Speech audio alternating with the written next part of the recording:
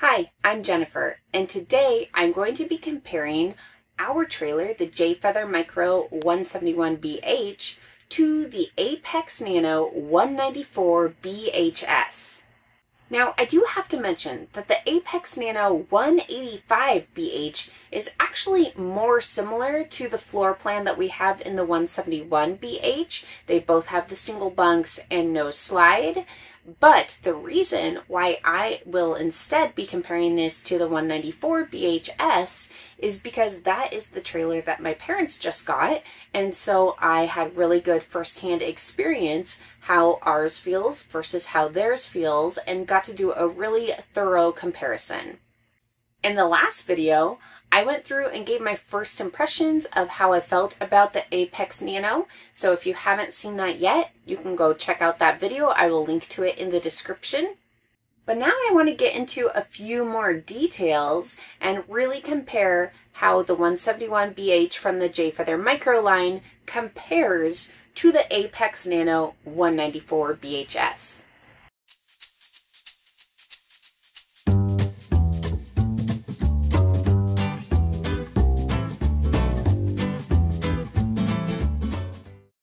So first we'll compare a few specs like the length, weight, and tanks, and then we'll start comparing some of the features to each other. And if you're interested in seeing something specific, all of the chapters will be marked out in the video, so you can easily go through and just jump to the section that you would like to see. So first let's talk about length. So the length of our trailer, the Jay Feather Micro, is just over 20 feet at 20 feet 2 inches the length of the Apex Nano is over 22 feet at 22 feet 7 inches. So the Apex Nano is more than 2 feet longer than the Jay Feather Micro. And because we like to camp at campgrounds that can only accommodate smaller trailers, I always give the win in this to whichever trailer is the shortest. But to be fair, the ideal length is under 24 feet. That is the restriction that we come across at most California state parks. So that's really the length that I want it to be under. And both of these trailers are under 24 feet. But again, because the Jay Feather Micro is two feet shorter, I will give the win for the length to the Jay Feather Micro. Okay, now let's talk about the weight of the trailer. And for this, I was able to pull the exact weights off of our two trailers, so our Jay Feather Micro and my parents' Apex Nano. So these are the weights with all the options and the way that we have it configured. So the dry weight of the Jay Feather Micro is 4,025 pounds. It can hold 970 pounds of cargo, so it has a max weight of 4,995 pounds, so just under 5,000. Now the Apex Nano has a dry weight of 3,805 pounds. The Apex Nano can hold 857 pounds of cargo, so it has a max weight of 4,662 pounds. So I was surprised by this. The max weight of the Apex Nano is actually less than the max weight of the Jay Feather Micro. So the Apex Nano is lighter than the Jay Feather Micro. Even though it's two feet longer and it has a slide, it is still lighter. So I thought that was really interesting. The Jay Feather Micro can hold a little bit more cargo it can hold about 100 pounds more cargo than the Apex Nano. So the Apex Nano is lighter, but the Jay Feather Micro can hold more. So for this category, I'm going to give it a tie. I mean, the numbers are really close, and there are pros and cons to each, so this one is a tie. Okay, now let's talk about tanks.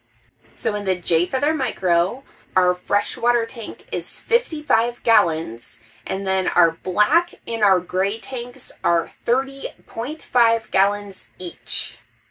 In the Apex Nano, their freshwater tank is 50 gallons, and the black and the gray tanks are each 30 gallons. So this is really, really similar. I mean, I think we could argue the black and the gray tanks, let's just call that the same. Half of a gallon is not a big deal.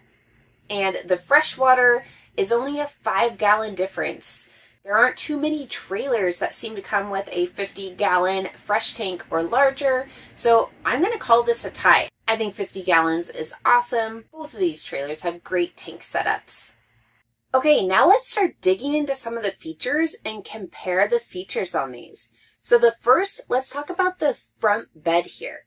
On the Jay Feather Micro, this front bed is considered a full XL. So it's the same length as a queen bed. It's 80 inches, but the width is the same width as a full bed. So it's 54 inches. So this bed is 54 by 80 inches. Now in the Apex Nano, the front bed there is a queen bed. It is an actual queen mattress. So just like ours, it's 80 inches in length, but then 60 inches in width. So it's 80 by 60. So since the mattress in the Apex Nano has six inches extra in width, the Apex Nano wins this category. Now let's talk about the TV. So in the Jay Feather Micro, our trailer came with a 12 volt 32 inch TV. And that's really awesome because that means that we can use that while the trailer is not plugged in. You can use it while dry camping and while you do not have shore power. In the Apex Nano, it did not come with a TV. They added a 24 inch TV in their trailer.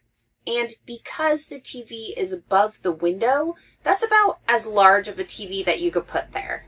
Now, when my kids saw that, and granted, they loved everything about the trailer, but when they saw the TV, they said, you should get rid of that window and put in a bigger TV, which obviously they're not going to do that. Now, I personally feel like, I don't know, having a window there would be very nice. So they have a smaller TV, but they have a window. My kids would definitely opt for a bigger TV and no window. I personally feel having a smaller TV to have a window there is worth it when we first got our trailer, we didn't even want a TV, but now we use it all the time. So I guess my opinion has shifted on that. But anyways, I'm going to have to give this one a tie because I don't know. It is nice that ours came with a 12 volt 32 inch TV, but they have a window there and you're camping. I mean, the focus is more on being able to be out with nature, not really to watch TV. So this is just going to come down to personal preference. So I'm marking it as a tie. Next, let's talk about the sink. So the sink in the Apex Nano is huge.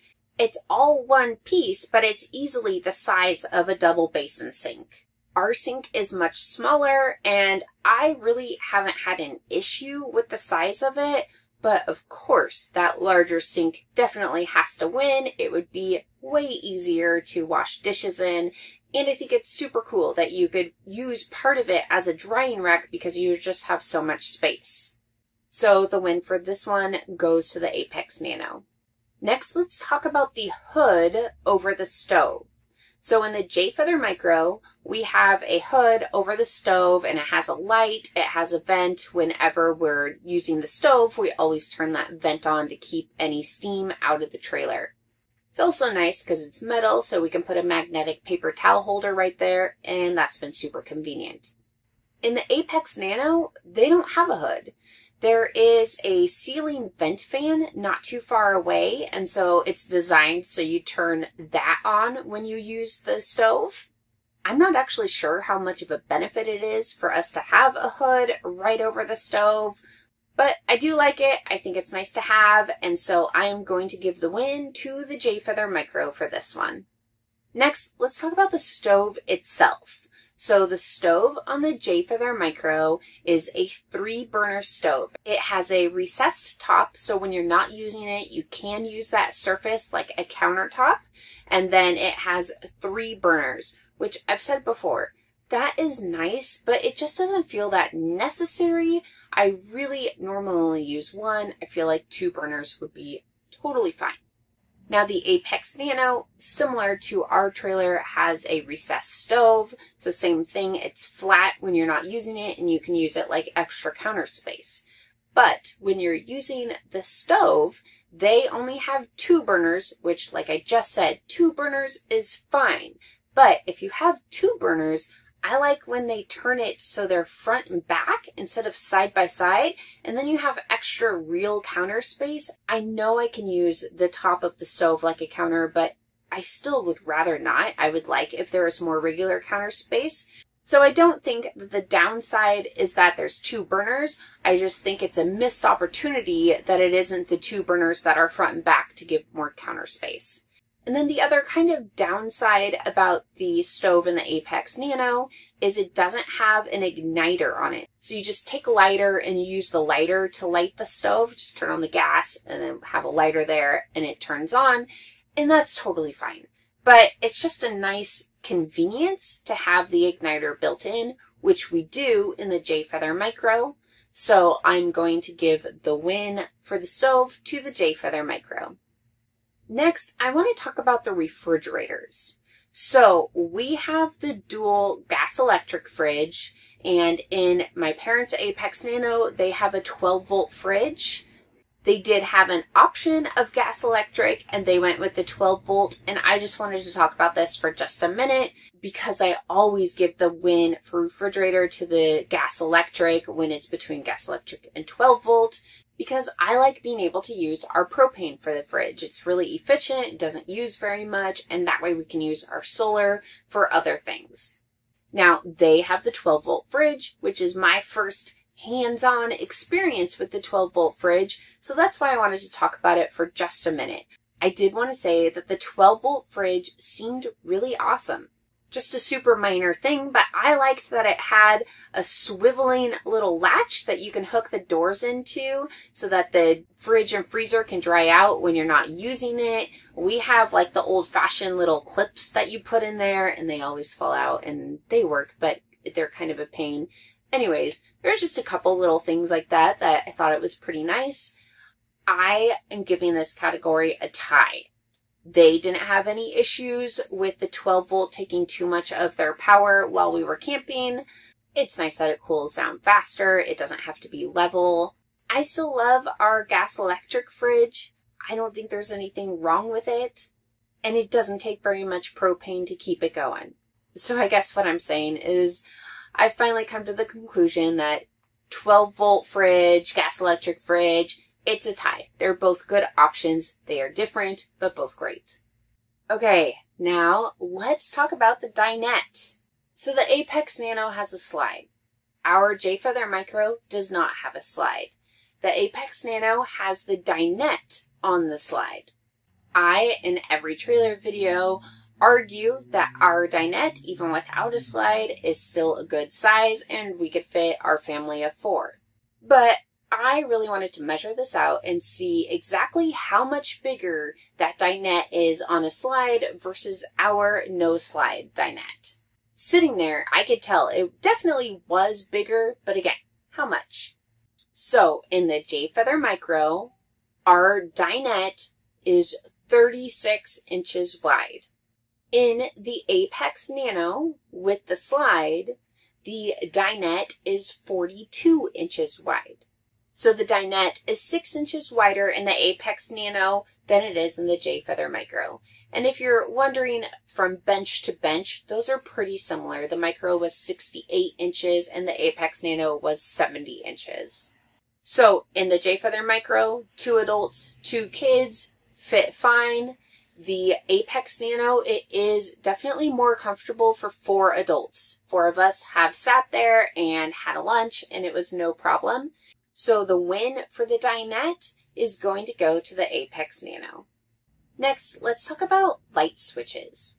So in the Jay Feather Micro, when you first walk in, we have some master switches that includes a light switch for the entire trailer. And then in our bathroom, we have more switches. We have two switches on the wall for the fan and the bathroom light. In the trailer, there are also buttons on every single light, and you could turn any light on and off individually.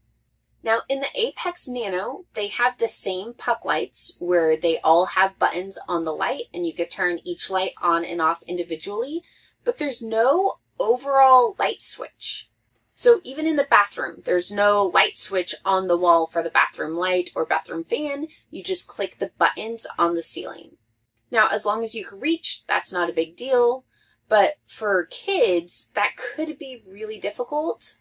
Specifically, the bathroom light. It's really convenient for my five year old to be able to turn the light on in the bathroom on her own. So for this one, I'm going to give the win to the Jay Feather Micro. Next, let's talk about bunk storage. So, both of these trailers have the single wide bunkhouses. But in the Jay Feather Micro, underneath our bunk, we have space to store things. There's a storage door that we get access from the outside, or we can access it inside just right underneath the bunk. And we use this area a lot. We do store a bunch of stuff in there. It's also where our dog sleeps. It's kind of like a triple bunk bed. Now, in the Apex Nano, the area underneath the bunk is not accessible from the inside. Instead, outside, that area has an outdoor kitchen. So there's a storage door that you could open up and you can pull out your griddle. There's a little bit of countertop and there's even a small refrigerator out there. And I think that's a really awesome setup. So for this category, I'm going to give it a tie because these are just such different things. The storage is nice. The outdoor kitchen is also nice. So this is another just personal preference. It just depends on your needs and what you want to do with the camper. So this category gets a tie. Next, let's talk about the outdoor kitchen. We already started, so let's talk about it a little bit more. So in the Apex Nano, like we were just saying, there is an outdoor kitchen. You can pull out a griddle. It comes with a suburban griddle. And there is also a fridge. That fridge does require shore power to work. But I think it's awesome to have some dedicated space there. Now in our trailer in the Jay Feather Micro, the outdoor kitchen is on what they call a J port. So it's a stand that hooks into the side of our trailer and then a Blackstone griddle sits on top of that. So it's not the kind of thing that's there all the time and we just pull out. We keep the shelf in the trailer pass through and then the griddle in the back of the truck and we take a few minutes and just kind of put it together. And it's no big deal. We love this system and we really love using the Blackstone. And one of the things that we really like about this is it came with a 17 inch, but it was set up to also upgrade to a 22 inch Blackstone. So we now have a large 22 inch Blackstone on this same setup that's right on the side of our trailer. And for a family of four, a 22 inch Blackstone is just so much nicer to cook on than the 17. It's great to have that extra space. So moving back to the Apex Nano, I think that's the one downside of the outdoor kitchen setup. I haven't measured that suburban griddle, but I would guess that it's around a 17 inch. And the way that that system is set up, you can't just upgrade it to a 22 inch. Of course, you still have that space and you could figure out something unique to do with it if you really wanted to. But even if you can't upgrade to a larger griddle if you need it, I still think it's really awesome that the outdoor kitchen is right there and so easy to pull in and out. And so I'm going to give the win for this one to the Apex Nano. But I really love my 22 inch Blackstone, so I don't know, maybe a tie. I don't know. What do you think? Share with me in the comments. What's better, having the outdoor kitchen there all the time or having a system that's a little bit easier to upgrade to a larger griddle? Next, let's talk about the tongue jack. So the Jay Feather Micro comes with a power tongue jack, which is awesome. The Apex Nano comes with a manual tongue jack. Now, my parents actually upgraded their trailer. They had the dealership replace out the manual tongue jack with a power tongue jack. So they have a power tongue jack, but the trailer actually comes with a manual tongue jack. So since the Jay Feather Micro comes standard with the power tongue jack, I'm going to give the win for this category to the Jay Feather Micro. Okay, next, let's talk about the slide. So the Jay Feather Micro does not have a slide, and the Apex Nano does have a slide. And they wanted a slide. That was important to them because they wanted to have that extra space inside the trailer. When we were looking for trailers, like three years ago now, we didn't care if the trailer had a slide or didn't have a slide. That wasn't one of the things that we were looking at. We were more concerned about different features like the floor plan and how it was prepped for dry camping. So the slide wasn't a factor. But now that we don't have a slide, I feel like it's very nice because we don't have to maintain it. And I've just heard so many horror stories of people having issues with their slide. So since we have our trailer, it doesn't have a slide, we haven't had any of those issues, I felt like that was a big win. And I don't feel like the space in here is cramped. Now that I've been in the Apex Nano and it has a slide, it has a very large slide, I will say it adds a ton of space. It's really a night and day difference going between ours and theirs. There is far more space with the slide than there is in ours. And even when their slide is closed, you can still access everything. That was another thing that makes me not a huge fan of slides is we like to stop on our travel days and go into the trailer to have some lunch and I want to be able to access the trailer if we're in a spot that we can't pull the slide out. And in their trailer, you definitely can. You still have a walkway, the bathroom and everything is still accessible while you're in road mode. The walkway is more narrow, but it's not difficult to get through. So the slide seems to add a lot of value. It adds a ton of space and it doesn't really take away from anything if it can't be used. They also put a slide topper on theirs so they can close it and not have to go up there first and clean it off. Any leaves or anything should just roll off. And I think that's really nice and just one less thing that needs to be done on a pack up day. So having a slide or not having a slide, I think that this is another one that's just going to come down to personal preference. I'm marking this as a tie because it just depends on what you want. I don't think our trailer needs a slide and it's nice not to have any extra work in the trailer. They wanted the extra space, which the slide definitely provides. And so that makes sense for their needs. So it just depends on what you need and what you want to do with the trailer. Okay, next, let's talk about price. How do the price of these trailers compare? I think that both of these trailers can be found for around $30,000. Of course, the prices can vary depending on your location and the options on the trailer. But in general, I think the prices of these are pretty similar. So that was it. And honestly, the two trailers are pretty comparable. I feel like I did more ties in this video than I have done before in my other trailer comparisons. And honestly, I just don't think there's a bad choice. I think they're both great trailers. Our trailer works well for our needs. Their trailer works well for their needs.